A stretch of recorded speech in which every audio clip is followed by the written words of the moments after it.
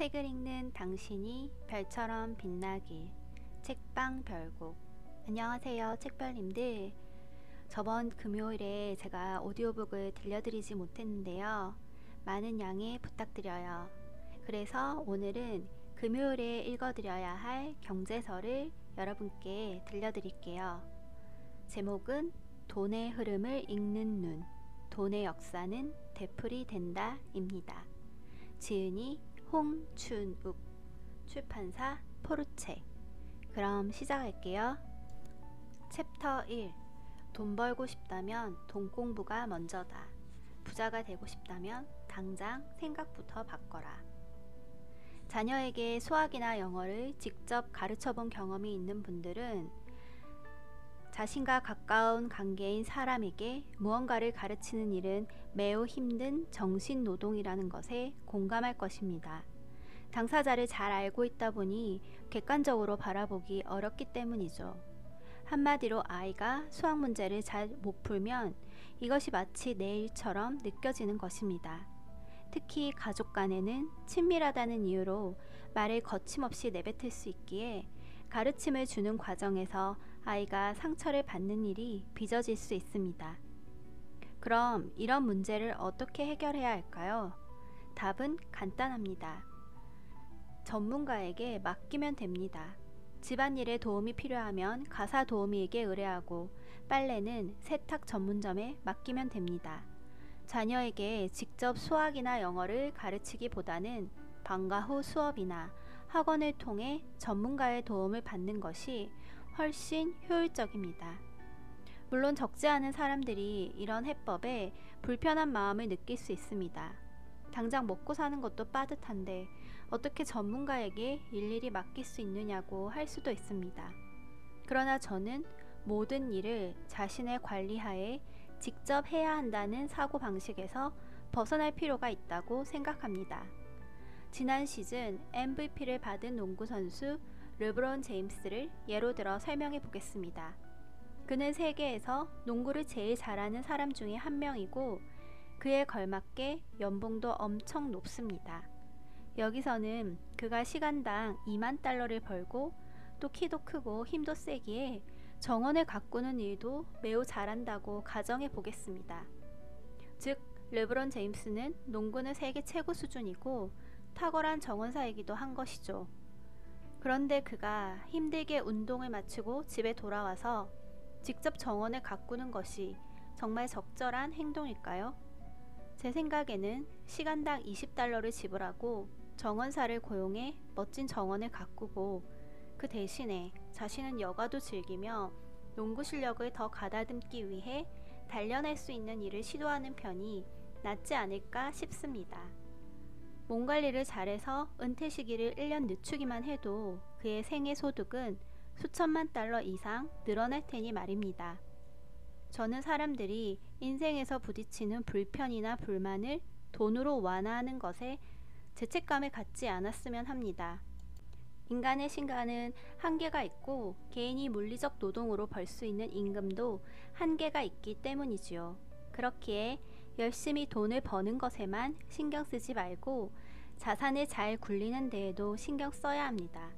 즉, 돈이 돈을 버는 시스템을 만들어야 한다는 뜻입니다. 무작정 좋은 테마주 없어? 같은 질문을 지인들에게 던지기보다 어떻게 돈을 벌어들이는 시스템을 만들 수 있는지 문의하는 방향으로 바뀌었으면 합니다. 황금알을 찾으러 숲을 헤매기보다 황금알을 낳는 거위를 키우는 농장주가 되는 방향으로 생각해 보면 어떨까요? 챕터 2 투자의 시대 돈 좀 굴려봅시다. 달러와 암호화폐의 전쟁을 주목하자.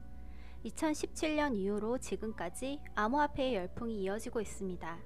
최근에 이 책 출간을 위한 초고를 읽어본 큰아들마저 왜 책에 암호화폐 이야기를 넣지 않나요? 라고 의견을 주어 간략하게나마 암호화폐에 관한 내용을 다뤄보자 마음 먹었습니다.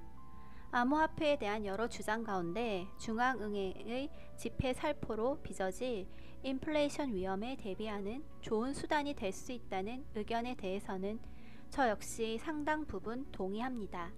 2008년 글로벌 금융위기 이후 양적 완화와 제로 금리 정책, 심지어 상장 지수 펀드 투자까지 중앙은행이 전방위적으로 현금을 살포하는 것이 미래 인플레이션의 위험을 높일 수 있다는 우려는 타당한 주장이라고 생각합니다.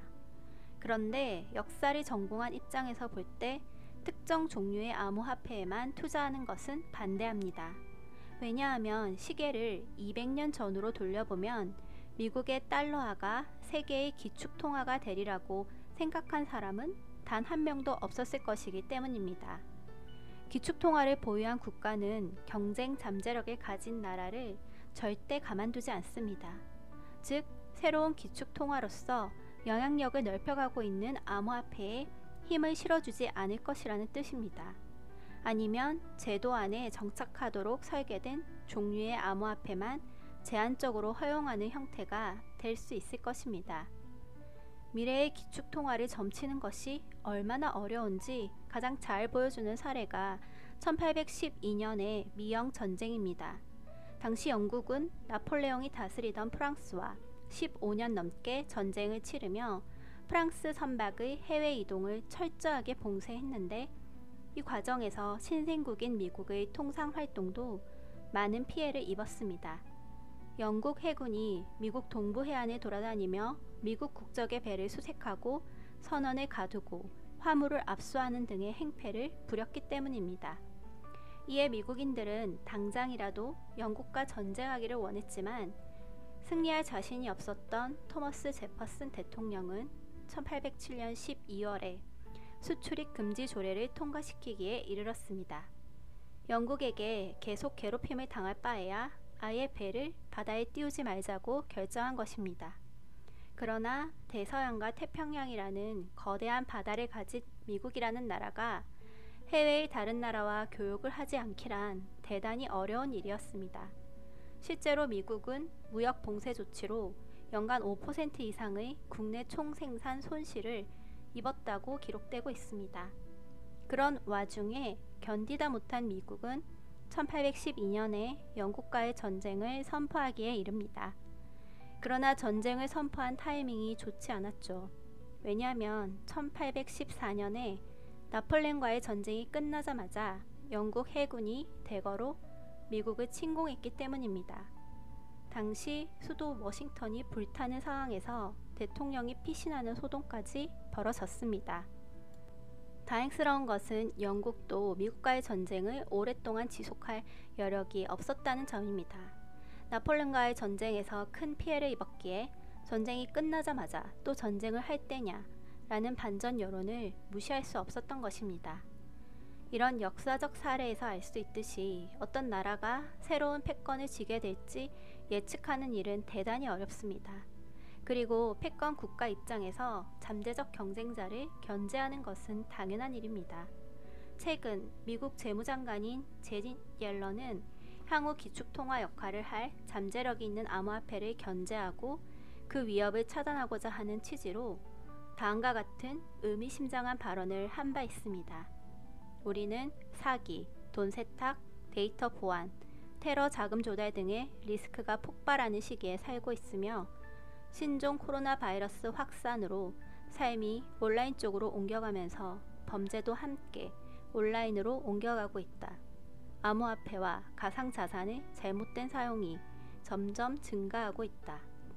정리하자면 암호화폐에 올인하여 투자하는 것은 반대합니다. 하지만 먼 미래에 주도적인 위치를 점하고 이에 따라 놀라운 가치 상승을 기대할 수 있다는 점을 고려하여 달러 자산을 보유하면서 분산 투자의 한 방법으로 소량의 암호화폐에 투자하는 것을 권합니다. 다수의 경제학자와 달리 제가 암호화폐 투자를 반대하지 않는 이유는 어떤 화폐도 실질적인 가치에 기반하지 않기 때문입니다. 역사학자 유발 하라리가 그의 베스트셀러 사피엔스에서 지적했듯이 사람들은 실제로 존재하지 않는 것을 믿는 특성이 있습니다. 1971년 닉슨 쇼크 이후 종잇돈의 가치를 보장해주는 장치가 끊겼던 것이 대표적인 사례일 것입니다. 1971년 이전까지 금 1온스는 35달러로 교환되고 또 35달러는 언제든지 금 1온스로 지급 보증이 되었습니다. 그러나 닉슨 대통령은 달러와 금의 교환제도 폐지를 선언했습니다. 종이화폐의 가치를 보증하는 것은 사람들의 믿음뿐인 셈입니다. 미국 달러는 기축통화인이 안전할 거야 라고 생각하는 사람들의 믿음이 불황에 달러의 가치를 상승시키는 요인으로 작용하는 것입니다. 따라서 달러에 대한 신뢰가 훼손될 때마다 암호화폐를 보유하려는 동기가 높아질 수 있는 만큼 분산 투자의 대상으로 암호화폐가 고려될 수 있다고 봅니다. 챕터 6 잃지 않는 투자를 위한 매수 타이밍 대주주가 매수에 나서는 기업을 눈여겨보자. 2020년 3월이나 2018년 12월처럼 주식시장이 폭락할 때는 저평가된 기업이 넘쳐납니다. 그러나 이때 주가가 싸다고 아무 주식이나 고르면 낭패를 볼 수 있습니다. 왜냐하면 불황에 싸 보이던 기업의 실적이 망가질 수도 있고 심지어 기업이 무너질 수도 있기 때문입니다. 그렇다면 주식시장이 폭락할 때는 어떤 기업을 매수해야 할까요? 여러 기준이 있겠지만 저는 내부자 매수가 발생한 기업을 최우선적인 매수 대상으로 삼습니다. 내부자란 기업의 사정을 잘 아는 내부 관계자를 뜻합니다. 물론 직원도 내부자에 속하지만 여기서는 그룹의 총수나 그의 직계가족 또 최고 경영자처럼 기업을 최고 의사결정 과정에 참여하거나 관계를 맺고 있는 사람을 지칭합니다. 제 경우 2002년 모 그룹 계열 증권사에 근무할 때 겪었던 경험이 내부자 매매에 관심을 가지는 계기가 되었습니다. 당시 모 그룹의 지주회사 주가가 2,000원을 깨고 하락한 일이 있었습니다. 여러 신규 사업에 진출했다가 실패를 겪은 후 결국 몇몇 사업 부문을 정리하며 어마어마한 손실을 입었기 때문입니다. 그때 바로 지배주주의 자녀에 대한 주식 증여 공시가 발표되었습니다. 공시란 상장 기업의 중요한 의사결정을 외부에 알리는 일을 의미합니다. 상장 기업의 공시 중에서도 대주주의 지분 병동, 특히 자녀에 대한 증여는 매우 중요합니다. 가족 간에 증여할 때는 일정 금액까지는 면세가 되지만 수백억 이상의 가치를 지닌 주식을 증여할 때는 높은 세율이 부과되기 때문입니다.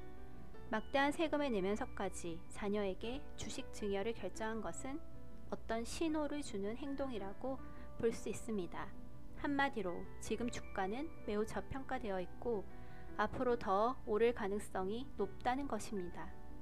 예를 들어 적정 주가가 1만 원인 주식이 2천 원에 거래되고 있다면 지금 자녀에게 증여하는 것이 훨씬 이익이 될 수 있습니다. 왜냐하면 세금은 증여 당시의 시장 가격으로 부과되기 때문입니다.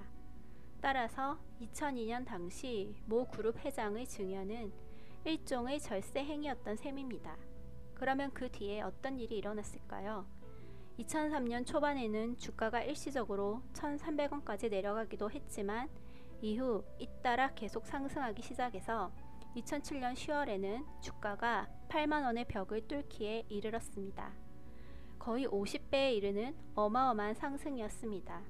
아쉽게도 저는 이 절호의 기회를 놓쳤습니다. 당시 공부가 부족해 지배주주의 증여가 어떤 의미를 지니는지 제대로 파악할 능력이 없었던 탓입니다. 독자 여러분은 주가가 폭락한 우량 기업의 대주주가 자녀에게 주식을 증여하거나 또는 승계 과정에서 핵심 기업의 지분을 확보하지 못한 2세가 주식을 매입하는 경우 투자 기회를 놓치지 않았으면 합니다. 물론 내부자가 이와 반대로 주식을 매매하는 경우는 주식 매도의 신호입니다. 대주주 또는 그 직계 가족이 매도하는 기업의 주식에 대해서는 되도록 비관적인 관점에서 접근하는 것이 타당합니다. 배당이 보내는 신호 읽기 대주주의 주식 매수 못지않게 긍정적인 매수 신호로는 배당금 인상을 꼽을 수 있습니다. 배당이란 기업이 주주들에게 그동안 투자 자금을 제공해 준 것에 대한 감사의 의미로 나누어 주는 현금을 말합니다. 기업의 설립 초기에는 이익을 내기가 힘듭니다. 장비도 사야 하고 뛰어난 인력을 스카우트해야 하며 판매망을 구축하기 위해 영업 조직은 물론 지사를 세계 곳곳에 설립해야 합니다. 당연히 적자가 날 수밖에 없고 이때 증자 등의 형태를 통해 주주들로부터 사업 자금을 조달하는 것이 일반적입니다. 그러다 사업이 어느 정도 궤도에 오르면 더 이상의 투자 자금은 크게 필요 없기에 남는 돈을 배당의 형태로 주주들에게 지급하게 됩니다.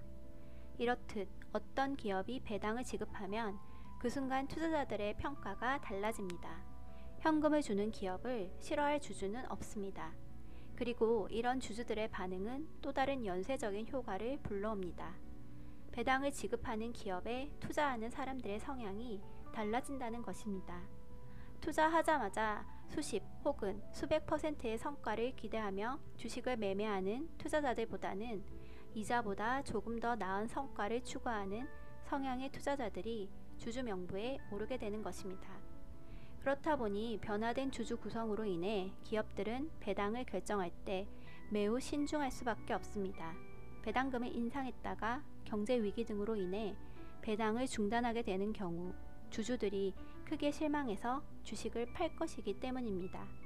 또한 주가의 폭락은 그 자체로 기업에 대한 신뢰를 떨어뜨리는 요인으로 작용할 것입니다. 배당은 한 번 지급된 후에는 앞으로도 꾸준히 이어질 것이라는 기대가 형성되기에 아무 기업이나 배당을 지급하겠다고 선언하기 어렵습니다. 이런 의미에서 배당은 일종의 값비싼 신호인 셈입니다. 결혼을 약속한 커플이 귀한 예물을 교환하듯 상대에 대해 진지하게 생각하고 있고 또 앞으로 오랫동안 같이 하겠다고 선언하는 것과 다를 바 없습니다.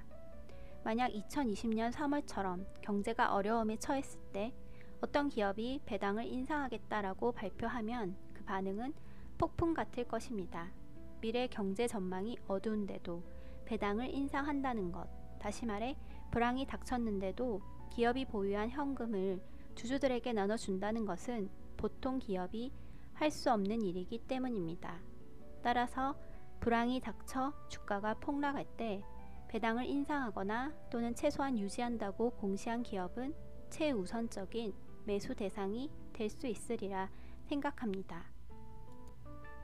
여기까지 오디오북 잘 들으셨나요? 중요한 내용의 일부분만을 발췌해서 읽어드렸기 때문에 자세한 내용이 궁금하시다면 꼭 구매해서 읽어보시기 바랍니다. 영상이 도움이 되셨다면 구독, 좋아요, 알림 설정 부탁드리고 다음 영상은 수요일이에요. 수요일에 만나요. 감사합니다.